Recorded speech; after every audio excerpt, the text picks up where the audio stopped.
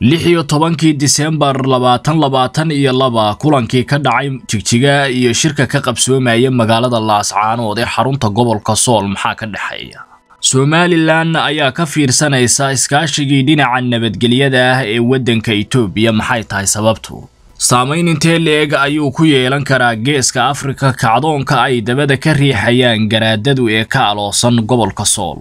warbixinteennan ayaynu daboolka kaga rogaynaa xogo cusub oo aynu ka helnay kulankii jigjiga iyo shirka ka dhacaya magaalada laascaanood xidhiidhka ka dhexeeya.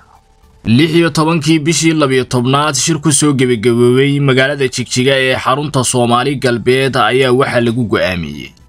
In kacdoon iyo xasilooni darro nabadgelyo laga bilaabo gobolka sool oo ku yaalla bariga somalilan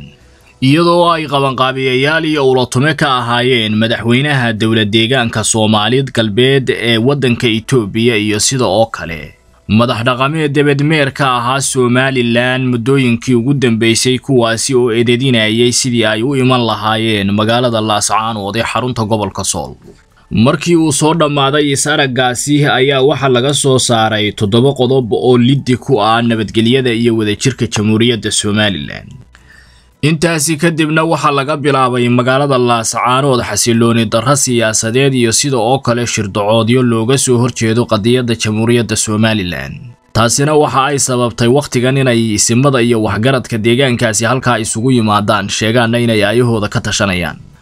Garaad jaamac garaad cali oo dhowaan deegaankaasi lagu soo dhoweeyey muddo dheerna ka maqnaa ayaa waxa uu sheegay inaanu aqoonsanayn xuduudaha afrika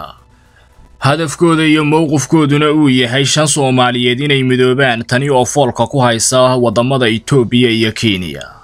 Oo ay ka tirsan yihiin laba gobol oo soomaaliya waana himiladii ay somalilan soomaaliya kula midowday lixdankii. Hase ahaatee wakhtigan xaadirka ah sida looga dhabayo hadalkan ayaa ah mid adag maadaama oo ay itoobiya iyo kenyaba ka hor imanayaan garaadka ayaa waxa kale oo uu sheegay inay isdaba socdaan kulankii jigjiga iyo shirka magaalada laascaanood lagu qabanaya laguna meel marin doono war murtiyeedkii halkaasi ka soo baxay